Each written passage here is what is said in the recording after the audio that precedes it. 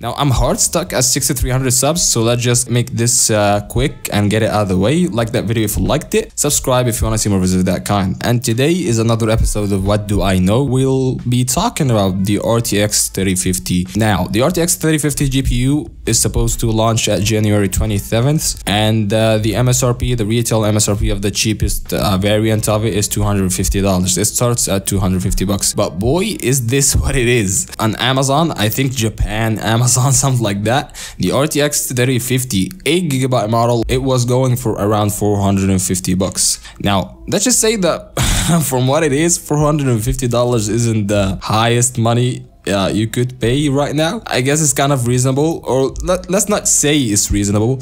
This is like what the beginning of the inflation. This is like the the cheapest thing you could look at. I don't know how to explain it, but I think it can go upwards from that. You know, because it went out of stock in just a matter of hours. You know what I'm saying? Now, given the benchmarks, we are looking at nearly double the performance of the GTX 1650. And when you look at GPUs that are nearly double the performance of the GTX 1650, you find it falling between an RTX 2060 and an RX 6600. The RX 6600 is priced at around $500 a Newegg right now, so that's kind of relatively cheap. And it's an 8GB GPU also.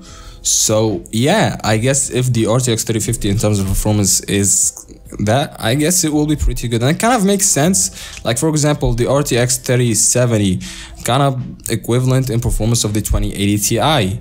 The RTX 3060 close to performance from the 2070 and the 2070 Super.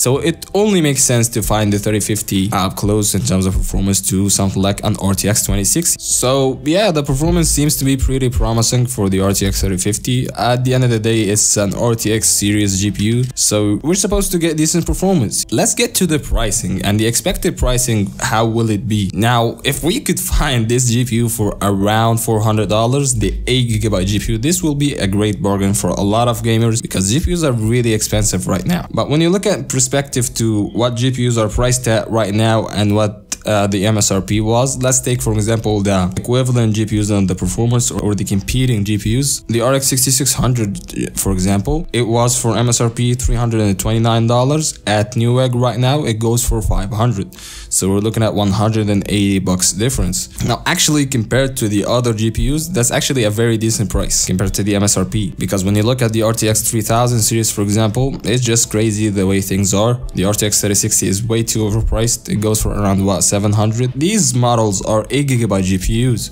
Now when you compare it to something like the 4GB GPU, the 4GB RTX 3050, I mean 4GB GPUs are not that appealing for miners, so I'd only guess it will be cheaper than uh, usually the higher VRAM GPUs. The only reason the RX 6600 isn't that overpriced because it's kind of AMD GPU and maybe it's not that good in mining, but I'm not 100% sure. Most pricey 4GB GPU out right now, the RX 5500 XT and the GTX 1650 Super, and they're both around 300 to 350 bucks. So yeah, since 4 gigabytes isn't again uh, what miners need, the RTX 3050 4 gigabyte GPU will be somewhere around $400, somewhere in the sub $400 region, and it will be pretty appealing for a lot of people who do not want to get something like RX 6600 because it's an AMD GPU. As we know, the Nvidia GPUs are kind of better in the FPS intensive games like CSGO and so, but it only comes down to how good will it perform because we don't know the difference in performance between the 4 gigabyte and the 8GB GPU. But in my assumption, if the RTX 3050 4GB model is faster than something like a GTX 1660 Super, which is for 400-ish dollars right now,